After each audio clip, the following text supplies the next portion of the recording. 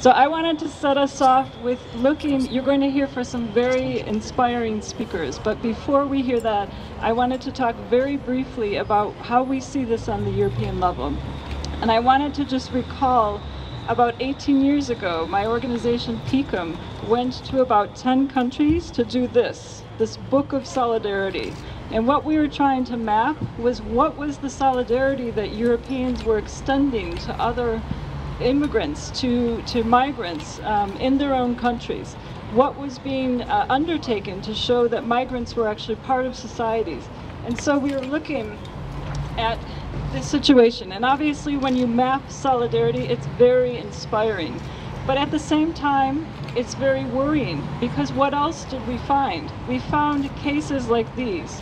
In 1999, taxi driver trials taxi drivers who were traveling between the German and the Polish border who were arrested because they were transporting undocumented migrants from Poland at the time, which was not an EU member state.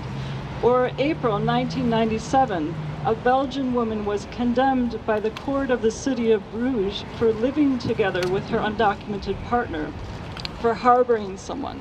Or Denmark in 2000, a pastor named Leif Bork Hansen was convicted on two occasions for sheltering 29 people who had been unsuccessful in their asylum applications.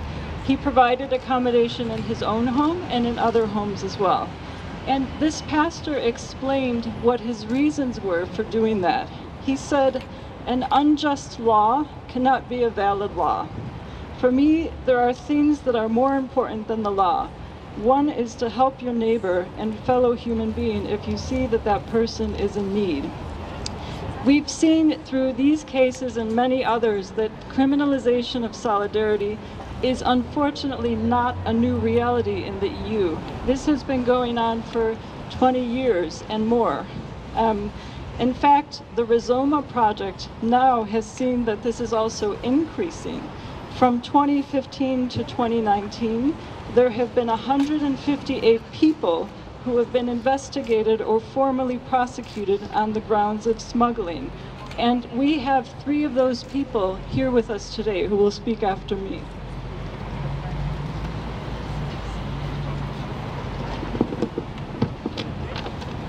We will hear their stories, and we know that the impacts of criminalization on their lives are enormous. Some of them have been jailed. They have seen things that none of us also want to experience. So we see that this is also part of a broader picture. And to go forward, we need some changes. We need some changes on the EU level, and we are so glad to see so many members of parliament here and their teams with us, and we hope the new parliament will also work together with us to look at some of the tools on the EU level that need reforming, including the facilitation directive. Isabelle Chopin from MPG will speak at the end and talk a little bit about that, what we want to do with that directive. But we need to revise it. We definitely need more clarity on it, some more guidelines.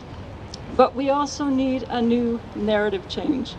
We need to see migration in a more positive light. We need to see how migrants contribute to our lives and to our societies in a very positive way.